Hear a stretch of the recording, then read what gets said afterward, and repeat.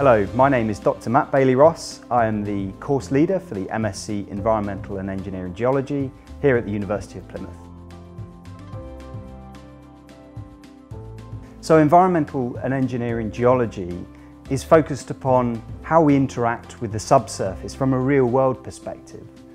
Looking at things like the legacies of contamination and how that could impact people in the environment, to the study of the interaction of buildings with the subsurface from an engineering perspective.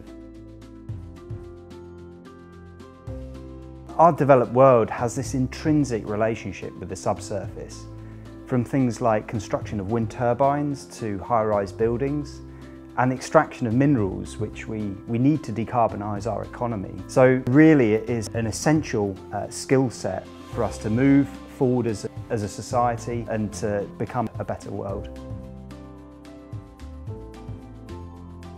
So our programme is shaped by dedicated industry advisors and they give us insight into what the latest demands of the industry are and also what the latest technolo technological advancements are. And in addition to that, the, the programme offers a, a placement which will both give you that real world experience of working in the sector uh, as well as building your connections for subsequent employment.